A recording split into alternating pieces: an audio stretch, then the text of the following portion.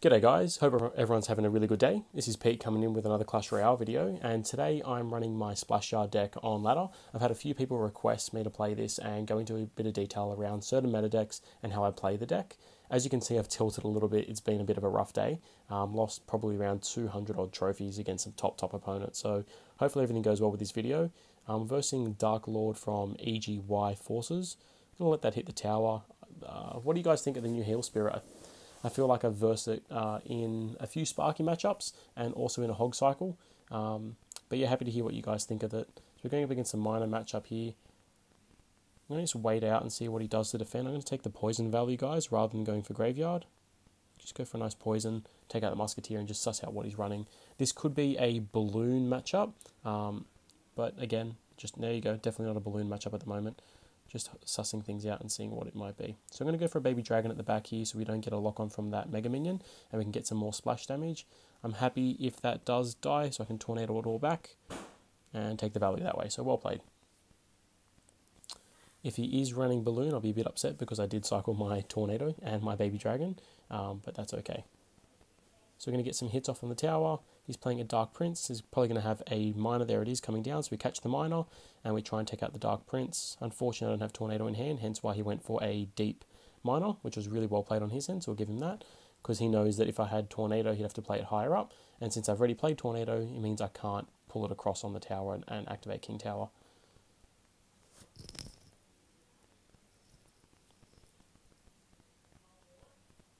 So mixing up the placement of the baby dragon just so he doesn't get familiar where we're playing it.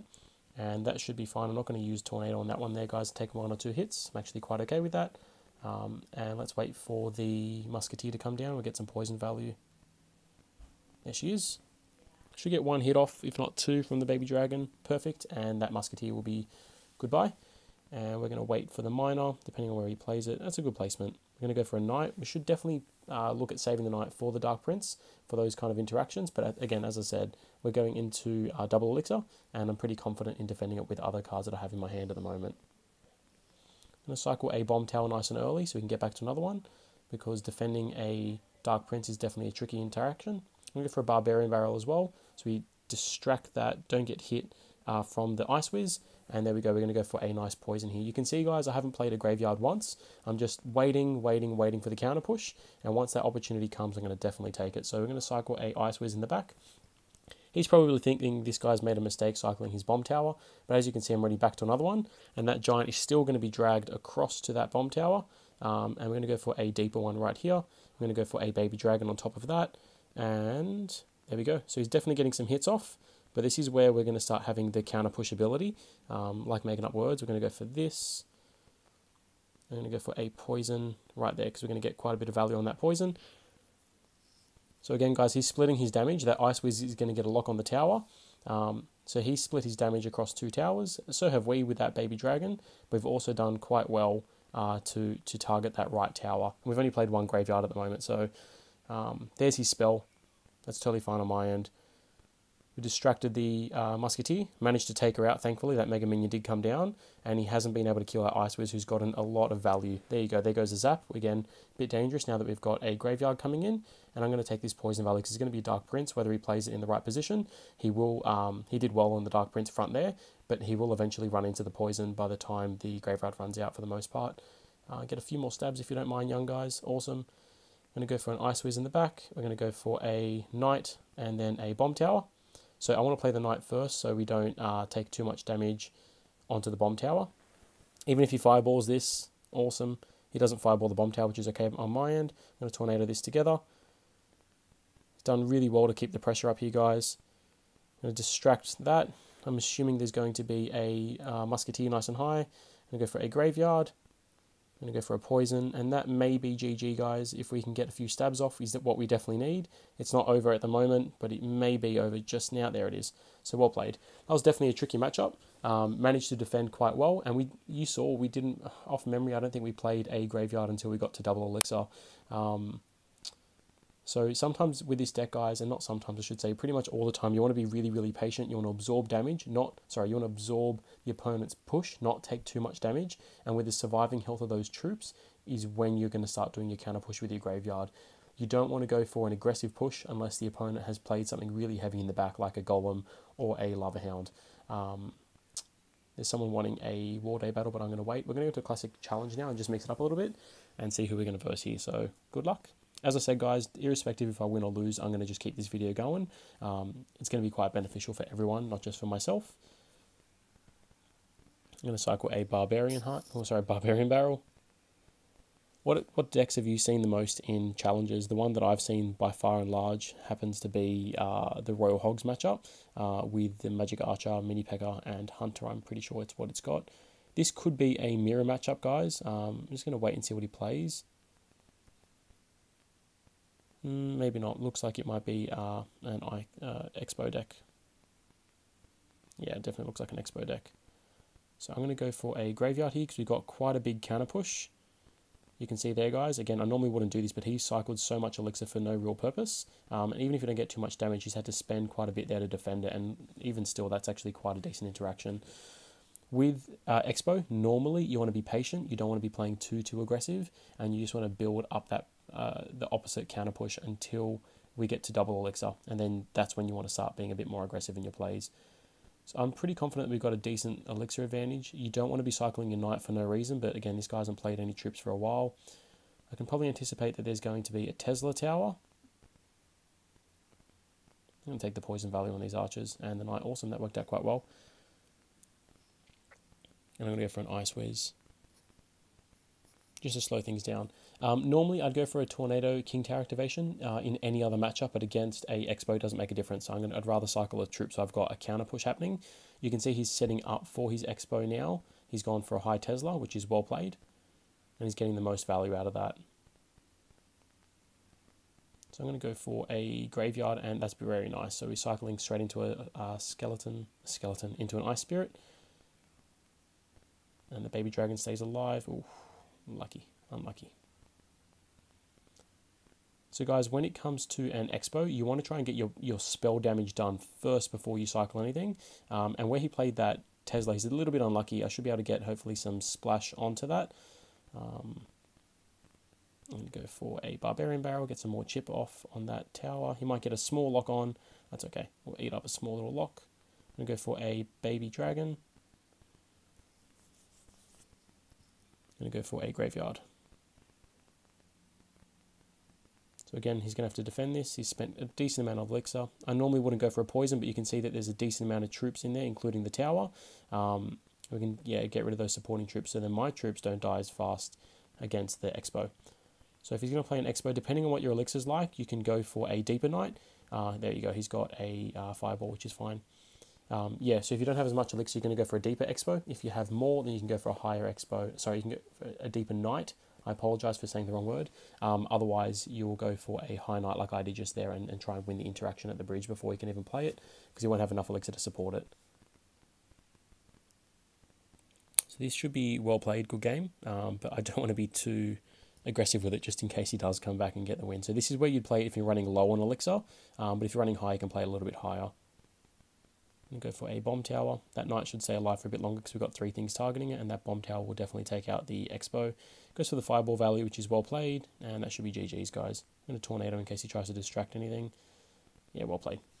Good luck. So that's how you handle a X-bow matchup. I'm going to go into one more match.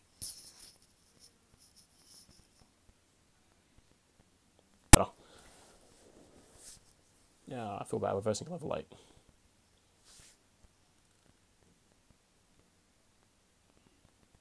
So in this particular case, guys, I'm going to go a bit aggressive. Normally don't recommend it, but again, I feel pretty confident. He cycled a bandit. I think we'll get some good damage off. Got a bit of weird matchup. On this side, this is how you can get a King Tower activation with a bandit, um, especially if you're versing a Pekka matchup.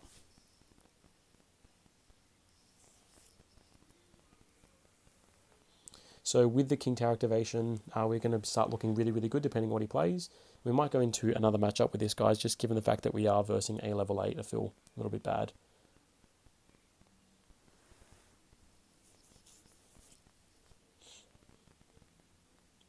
What's he running? What do you reckon, guys? What do you reckon he's running? I'm to go for a Barbarian Barrel as well. I should take out the Wizard. distract everything. I want to keep my bomb tower depending on if he's playing something else. We're going to go for a high bomb tower. Uh, the reason being was to prevent the bandit dash, but my phone glitched out, unfortunately. So we did eat a bandit dash. I would normally go for a graveyard, but I'm just going to wait. He's definitely spent a lot more elixir, and he's been a lot more aggressive. Um, but yeah, that's what I was waiting for a heavy card to come down. That bomb tower is actually going to help us a little bit. I'm going to play an Ice Whiz. I could have played a little bit closer so we didn't take any damage, um, any jumping damage, sorry. But again, pretty confident that he won't get any hits off, just given that we got all three King Towers, all three towers activated. I'm sorry. well played. He's playing this pretty well. I'm going to go for a knight just on the inside. You can also play it on the outside, just over here. But I like playing it on the inside. It takes a little bit longer to, to walk around. And we're going to go for a graveyard. Can probably anticipate a a bunch of barbarians or yeah or um, a minion horde. But again, I'm just going to let that go. That's poison value. Um, and we were actually quite lucky that we got to split the minion horde up, so we'll be able to counter those two minions quite easily, and then you'll see that the rest will die to the poison with the barbarian. So that was a massive interaction there, guys. Pardon me. So now that we know that he's running Mega Knight, we're going to leave our knight for him and then also put the bomb tower so the bandit doesn't uh, take out the knight. You can also see that placement so the bandit didn't get a dash off and she just walked over to the knight which allows us to get a beautiful clean interaction. They're both going to die and uh, we're doing pretty well. So I'm going to cycle a bar barbarian uh, barrel so we can bring the baby dragon towards the death bomb. As you can just see what happened there. I'm going to go for a baby dragon in the pocket. Um, that's, yeah, extremely, extremely silly play, unfortunately. I'm sorry not to be disrespectful just too much value for us on the baby dragon front. Um, he did well to stop the ice wizard from crossing the river, but he missed the um, the purpose of yeah defending the the graveyard push. So we're into one more matchup, guys. Hopefully versus someone else as well, and you can see a different match. So well played.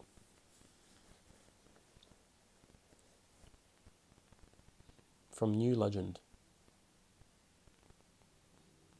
We're going to one more matchup. So Reversing Moment, we wish him good luck. And let's see how we go from Candy Elite. So you're going to be a little bit more patient on this one. Go for a Ice Whiz. This is probably that really, really annoying deck that's going at the moment. I'm going to tornado this over here. And that Ice Whiz should take it all out and we take minimal damage to our tower. That's an even elixir trade, guys. It may look like we're doing a little bit more um, better in terms of more better. It might look like we're doing a bit better in Elixir, but we're not, just given how everything interacted. We can probably go for a poison. There we go. I was just waiting for the um, for the musketeer to come down. I'm going to go for a barbarian barrel here as well, just so we can make sure that musketeer is over. And then when the skeletons spawn, yeah, we've taken a bit, we've done a bit more damage because I had to stay in the poison a bit longer to to destroy the barbarian barrel. Yeah, this is a very powerful matchup. We're going to go for a knight. Just over here. Could go a bit deeper. I'm quite happy with that placement. This will count, uh, cancel the Mega Minion out. Sorry, the Mega Minion, the Mega Knight out. Um, cool. I'm going to go for a lumber, a lumberjack. We're going to go for a graveyard against a lumberjack. He's running a very weird matchup. Very weird deck, which is good. I like weird decks. Go for a bomb tower, waiting for this to come down. This is a really good counter for it, and we can save. That was poor play. I'm going to go for this, King Tower activation, and then you'll, he might get a few um, bat hits off, which is totally okay. We're going to take a bit of damage, but now we're in a bit of a, a better position. We've got a King Tower activated. I can start playing my Knight a little bit deeper for the Mega Knight, and then his mine won't get as many hits off, uh, given the fact that we've got the King Tower activation. He's definitely got a heavy matchup, so it's um as double elixir goes on, he's going to have the, the advantage, but that's okay. We should be we should be in for a shot. The other thing to be aware of with this kind of matchup, guys, is that you want to save your splash troops for splash interactions. I know it sounds really simple, but you definitely don't want to be wasting them. I'm going to go for a knight here, and I'm also going to go for a barbarian to take out that mega that mega minion, take out the supporting troops, and also um, everything else that's coming with it. Sorry, guys bit, bit, bit difficult here to defend. Awesome. I'm going to go for a graveyard. I'm going to go for a poison. May seem aggressive, but again, not a bad interaction. Those bats should die. So will the mega. Uh, so will the uh, musketeer. Now we're playing it so that the um, Mega Knight is being targeted by both towers. Won't get a hit off. The miner's going to die. I'm going to go for an Ice Whiz. Go for a Graveyard. I'm going to get ready for a Poison as well. And we're just going to wait and do a bit more damage. That's that's a very good arrows on his behalf. I'll give him that. I'm going to go for a 90. Normally you want to save this for the uh, Mega Knight. I'm going to predict where the miner goes. We're just a bit late on our placement, which is okay. That's what I'm talking about, guys. Look how powerful those spear goblins are from this new deck, from the from the rework, rework, sorry, not from the new deck. I'm to go for a graveyard again. So we can start out cycling him now. We can get some nice poison value on that musketeer and also on the tower. And that should not be GG's, but we're going to get close to it, hopefully, if all goes to plan.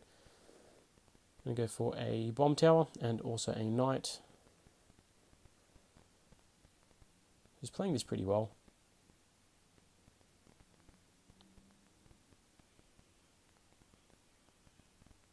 Going to go for a graveyard, and he's going there to be extra defensive, but he's also giving us more poison value.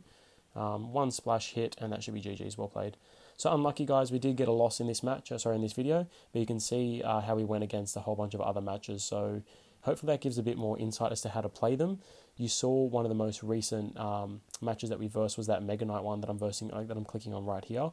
Uh, this is a very very annoying matchup. Um, there's other variations where they've got spear goblins, they've got goblin gang, they've got bats, they've got the skeleton barrel as well, um, and that, that can be a really challenging matchup. So I'm gonna leave the video there, guys. Hope everyone has a really really good day, and uh, I'll be posting more videos like this with this particular deck to hopefully give you a bit more insight how to run it. Thank you for your time. Bye bye.